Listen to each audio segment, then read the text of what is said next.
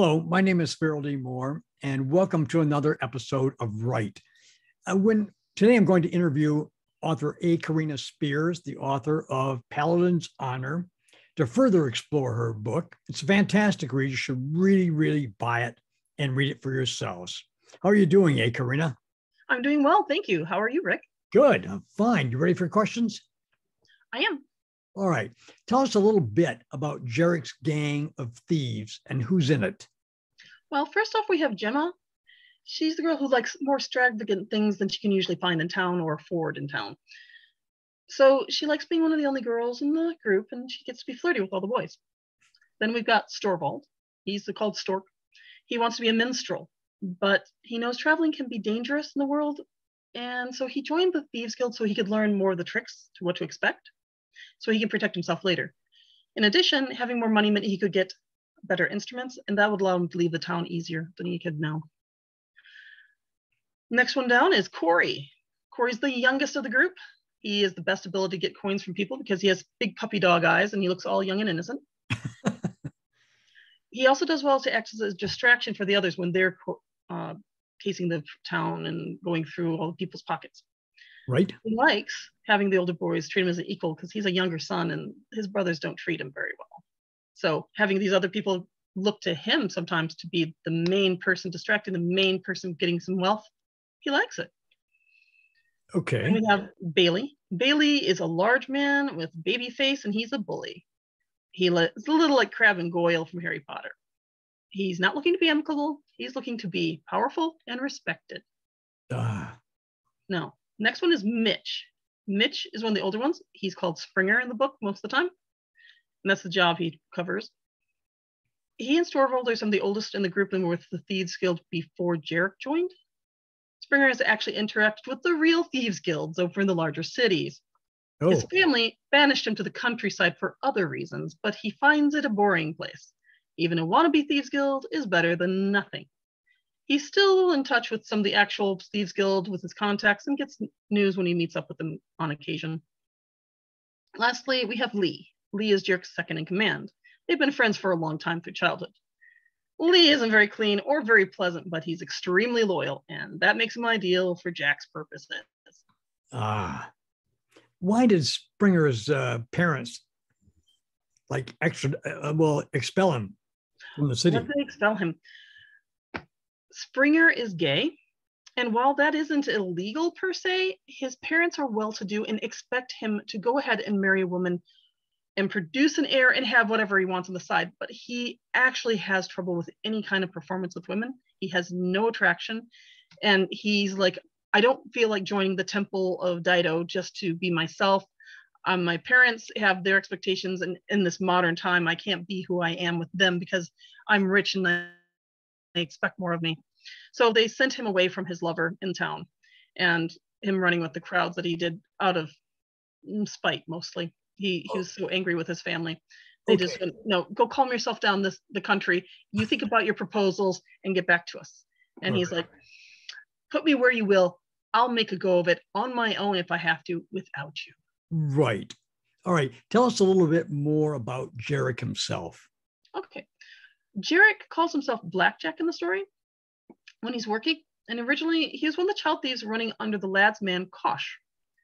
Kosh got arrested a few years back in the story time, and the group was about to break up because right. he was their leader. And the older ones saw what happened to Kosh. They didn't want to pick it up. Jarek proposed letting him do it. Oh. The other, older ones weren't against it, and they said, okay, go ahead, Jarek. You feel like it, be, be fine with him. Being that he was younger, he was less likely to get as heavy a fine.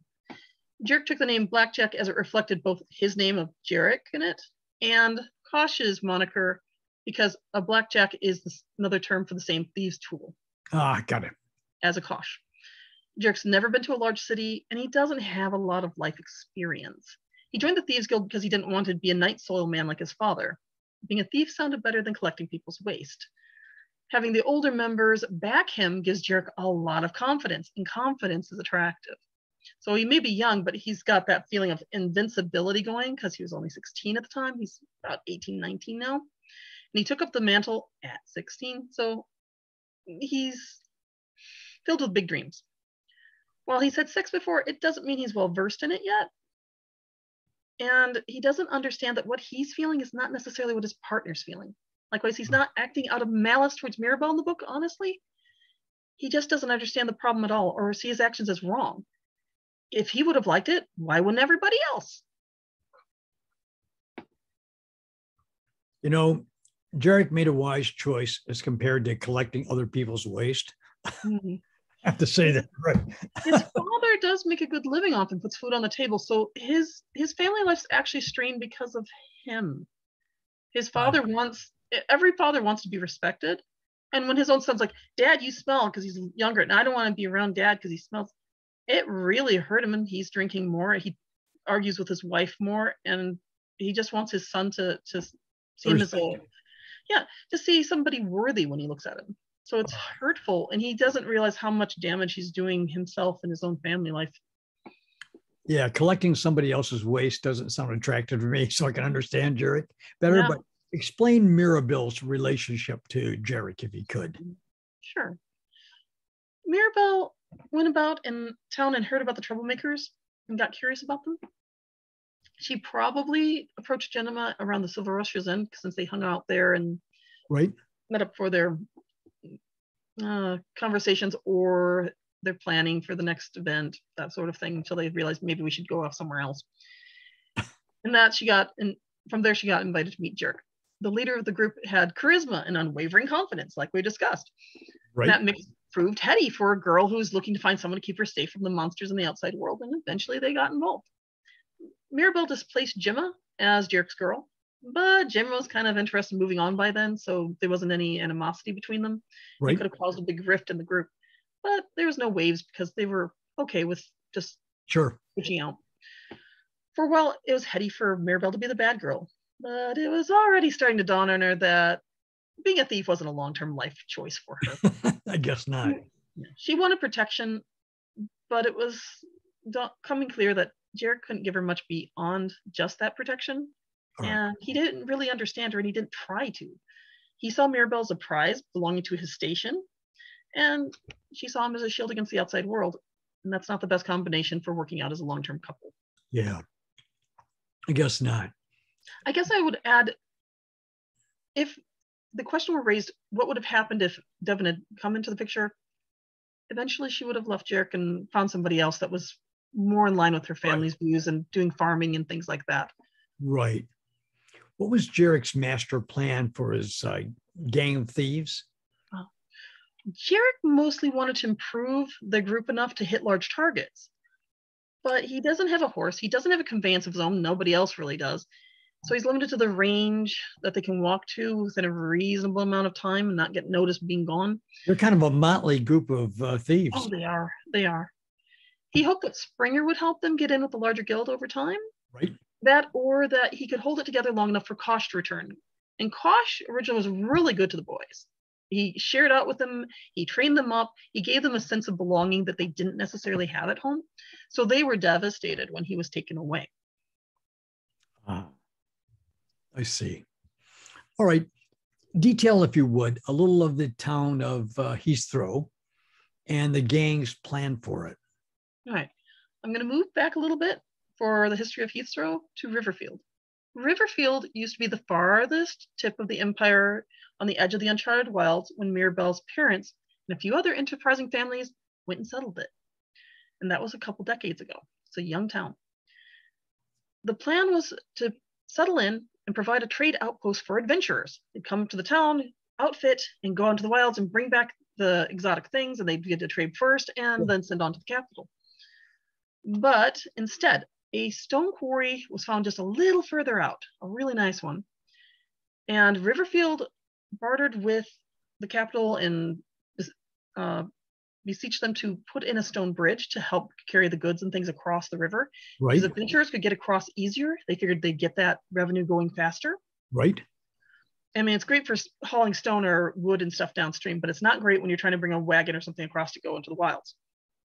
So they got their bridge, but the quarry is far enough away that people start adding shacks and town stuff over there. And oh, because they have a quarry, uh, that town got better supplies. They had the forest that Riverfield also was bordering. Right. But they got to have the stone and they also put together Daub and they have fancier looking buildings that are more reminiscent of the capital or other fancier towns. Right. While Riverfield is log cabin and wooden structures that can look nice, but it's very little home on the prairie or little house on the prairie. right. So they're like, what are we going to do now? Because now everybody's going through their town, passing through, not stopping. And Riverfield is going to approach Adele about finding a solution so they can get people to stay in their area a little longer. Now, her solution to their problem is going to be quite novel because she's a court seamstress and has never tackled it dressing up an entire town before. But for Jarek and his gang, they know that Heathrow has a sheep trading event in the spring that draws a fair number of farmers intent on getting new stock. Right. That also means they're going to bring more money than they do on a regular day. They don't have to guess what day they're going to bring the crops in and trade. That makes it the perfect time for the gang to come in and hit the crowds because they can hide among them and there's more money making it worth it. Ah, I see. All right. Describe, if you would, uh, Devon and Mirabelle's first confrontation? Well, Devon came out from Mirabelle's family going, Well, this doesn't sound a lot like an undead, doesn't mean it's not undead, but she's running with a bad crowd. So he'll go have a talk with her. Comes across her in town, walks up to her directly, and doesn't know that he's disrupting their casing of a dressmaker's shop. So the other thieves are around there, like they they scatter. Right. Mirabelle's like, um, yeah, I'm just gonna brush him off and I'll do go off to what she wants to do. But she realizes he's going to be back or he's going to follow her to her friends. And so she's like, okay, uh, how about we have those questions now? Mm, she acquiesced to his request. To her, it's better to deal with him then than have him come back when they're in the middle of a heist. And he might not treat her so well if she's actually stealing and he spots this. Now, for those people that are just watching this video, yeah. that not uh, accustomed to your former videos. Ah. Can you explain what a paladin is? Because why they oh. reacted the way they did to Devon? Okay. In my books, paladins are not simply a palace guard, but more like Sir Lancelot. They are a magical knight, and these ones are connected to religious orders. They follow a specific god and try to be paragons of knighthood. If you again go to King Arthur's round table, they're trying to be the best of the best and when they do so they create and gain the favor of their divines. Oh. and in this case devon is with the god rise who smites undead. Okay this is why they had the bad reaction to uh, devon right? Oh yes. Devon cannot directly arrest them. He is not a town guard. Right. There's a separation that's very important in the book because he can call martial law if there's an undead threat. They will do everything he says, and any of the paladins of that order or priests of that order say in that emergency. But because that is such a high level of control they can right. exercise over everyone, they are not allowed to get involved in mundane matters and disputes unless they are called upon or someone's yelling for help. If they're yelling for help, you know, stop thief, someone help me, anybody can step in, anybody. But if there is not a clear uh, request, they may not step in and cause friction between the local towns guards or the secular groups and the religious groups. All right, let's get back to Devon and Mirabelle's first confrontation, right? Sure. So Devon and Mirabelle, they go to the inn and they share a meal she tries to look mature by ordering wine, and Devon actually orders wine too, surprising her as much as she hopes to surprise him because right. she hasn't seen him really drink before. He's fairly staid. So he finally brings up her family's concern, and she gets it mad. She's angry at him, and she thought maybe, just maybe at that point, he might have been visiting as the friend of the family that he seems to be and has been in the past. Then he started asking her questions. Uh. Given how she answers him, she shows that she has plenty of spirit and emotion and strong opinions. And that's not what you tend to have if you're under the thrall of the undead or you are under a spell. You get kind of Ah. remote or stiff, and you want to disengage quickly. So he's she's like, no, that's she looks okay for now. Right. So he parted ways with her rather soon, but his words implied he'd be back again. Mirabelle wanted to know a little more what he meant at the end, but she's like, I've got to placate Jarek. And if I chase down this pal, then I start asking questions of my own. He's going to ask me more questions. This isn't going to go well. So, since both options seemed bad, she decided to go back to the meetup site with the thieves and deal with that first. Okay. Okay. All right. Explain the purpose of the resin power and how Mirabelle uses it. Mirabelle and Gemma are aware of how children come to be. So they have powder made of things like Dido's fennel and golden thread to keep from getting pregnant. The Temple of Dido sells a number of potions and medicines, healing potions and all that, but they also have things that can increase or decrease fertility. Really? Mm-hmm. It's very much the domain they're in. I think I covered some of the gods in the last video, but we'll go back over briefly. The Temple of Dido believes anything for love.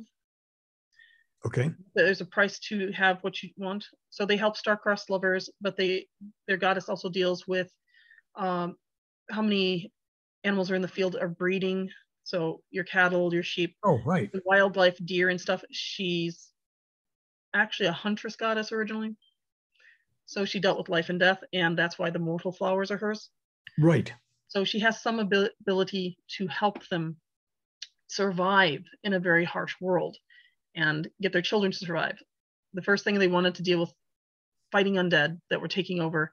Then they wanted to know uh, how are we going to survive, increase our numbers, and then they worried about their dead, which is Sigvarder. And then they wanted to deal with trade and luck, which and and travel, and Right. that's Anjasa. After that, you get to Bard, who tells the stories and records the histories. And you get Tatiana, who is the goddess of skill rather than luck. And she and Anjasa are always debating which one's better. Oh. Okay. All right. Now, So so we discovered Dido. So the Temple Dido sells them potions and medicines for fertility or infertility, along with healing and whatnot. That earns money for the temple. In this case, Mirabelle and Gemma are protecting themselves from getting pregnant by using a powdered preventative. got it. Got it. All right. Explain again what happened to Theobald. Ah, Theobald. I'm curious. one of my favorite characters. He's the one who started this whole thing. Theobald was a happy young farm boy who grew up with his childhood sweetheart Sasha, and they planned to marry. However, the land's ruled by undead, and Ah, one of the children of a vampire noticed Sasha and wanted her. So he took her away, was draining her, and was going to turn her into an undead. Finding out that she was missing and what had happened to her, Theobald went to the local shrine priest. They didn't have a Temple of Rise at this point. This was a very small town. They had not developed very far. So they didn't have the money and resources and people to support one. So there was somebody there to help with basic things. And so he went to the priest and said, What what can we do? He's like, Well, I'm sorry to tell you, this isn't looking good because we have to send a request to the a Temple of Rise at another city. They have to review it, then they have to send someone here, and then they'll be able to address it. But I don't think they'll be here in time. Theobald was not going to take that answer. Desperate, he bought a cheap sword. He didn't even have one, and set out on his own. He doesn't know how to use this thing. Staggers through the woods, nothing more than that cheap little sword with a wooden handle. He manages to find where that monster's lair was because he didn't go so far carrying someone else. He's younger. right. A younger So- vampire, right? Yeah, he's a vampire, but he's a younger vampire. He doesn't have all the powers and mastery that his higher level one does. So he found where the person or the, the vampire had hidden her and confronted him. Ah, you know, monster, I've got you. And I'm unimpressed. The vampire just smacks the metal out of him and it knocks it clear free of the base. It splinters the wood and goes flying off. And Theobald has just this hilt. So he stabs him, goes toward the belly and ends up under the ribs, pushes it upward, and that's wood. Aha. They both look down and they're both equally shocked. He has managed to defeat this vampire with a makeshift weapon, and the vampire died. it didn't pay attention to the handle. He just saw that was metal at top and just went, I can take care of that. no, that's kind of a cool way to go. Yes, it was it a luck roll. That's what it is.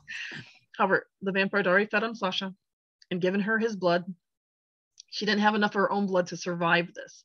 Theobald Ah, managed to take her in his arms and they said goodbye before her heart gave out and she died. He does not have the ability of transfusion. He's a farm boy.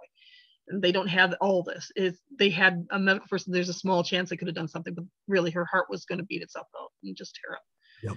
So the thing is, because the progenitor vampire was dead, it didn't matter that she'd taken in the blood.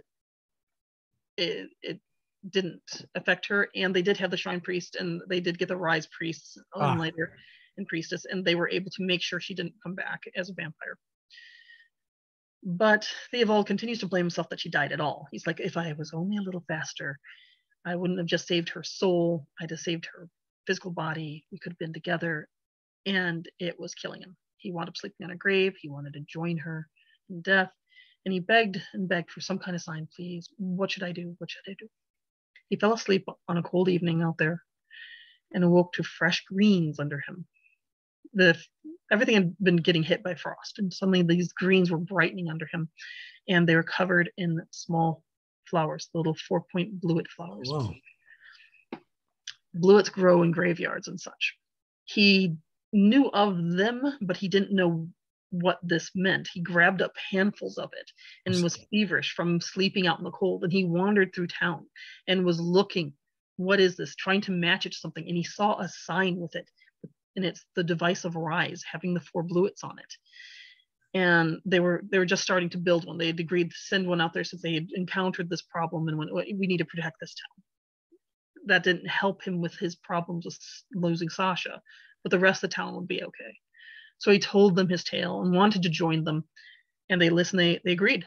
All right, this this is a worthy reason. Um, you can you can become part of our ranks. And he did well there, and his heart was healing because he was able to protect others from having the same fate he did. Until a dire battle in the mountains led him to seeing the ghost of his lost love. Now, knowing she's still out there and still aiding him, has made him pledge to find out why. And if there's a way for him to be with her still, he intends to find it. Now, if someone can't come back as a vampire, they just die a natural death. Mhm. Their spirit can still live on as a ghost. Their spirit is actually free and they should be able to go on as the blessed dead. But for some reason, she is lingering here as a ghost, which is Ah. actually extremely dangerous because liches and vampires, if they're high enough level, can command lesser undead, including ghosts. So then they can be turned against their loved ones. So the blessed dead normally do not come down unless they're giving a sign or a message from the divine and go away. So this is a huge, huge thing that he's seeing her and that she's fighting off other spirits. She's fighting off wraiths for him because he's about to be attacked, being in the shadows before the sun came fully up. All right. So he wants to know what's going on with his his beloved. now, for your ex- final question, Hmm. explain if you would the line that you wrote. Um, maybe she couldn't change the past, but the present belonged to her and her alone. What about the past would Maribel change if she could? Uh-huh. This is when Mirabelle's contemplating the what happened to her and Theo and Sasha. Right. And her big wish is that she had spoken to her brother more. She was only 12, between 11 and 12, when this occurred. She wishes she could go back and demand he explain himself. That she didn't listen to her parents because she's young and she's like, adults know everything. May I'll listen to my parents and it'll all be okay. And the priest and pr- priestess says, you know, she's jealous of them because the clerics were talking to her brother more than she was. Mm, But he trusted her. He talked to her some, but she didn't. She's too young to understand the greater depth of what's going on around her. The great ramifications. Yes, she she didn't understand uh, sarcasm and the bitterness in Theo's laughs when he's talking about, oh, they're going to put up a temple rise now. That'll be great. Mm, sounds great. She can't catch it. She's a little too young. But she lost her friend, Sasha. She lost her sister in law to B. And everyone else is so worried about Theobald. She got left in the background. She got forgotten in all this. She's mourning too. So she was too young to understand everything back then and too weak to assert herself. Now she has more understanding. Now she has more knowledge and the self determination to go and do what she wants to do. She, the girl she was, is giving way to the woman she is, and she plans to make her own choices for good or ill, and not let others make them for her. Got it. All right. Well, that's interesting. Uh, now, next week we'll go into a little bit deeper into some of the questions that are raised that it raises. So uh, this ends uh, our interview today, but I'll see you next time. Another week. Yes. And I look forward to it. I look forward to it too because this is very interesting. Now, again, your website address that people can get a hold of you at is a carinaSpears.com. Okay, and on Facebook? Look for a Carina Spears or a dot Carina Spears. Oh, Either one right. mean. And again, the publisher is White Cat Publications. White Cat Publications. All right. Glorious. So I'll see you next time then. All right. Bye Carina. Take care.